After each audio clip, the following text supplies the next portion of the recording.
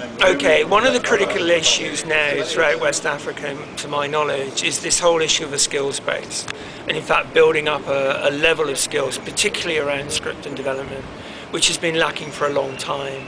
Even the major film schools will accept that in, they're not teaching script to the level that they would like to.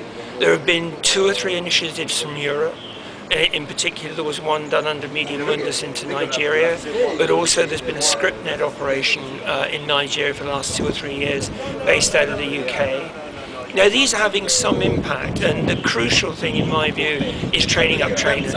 It's actually getting people in production companies and in the film schools who actually understand how you do development and what the issues of rewrites are.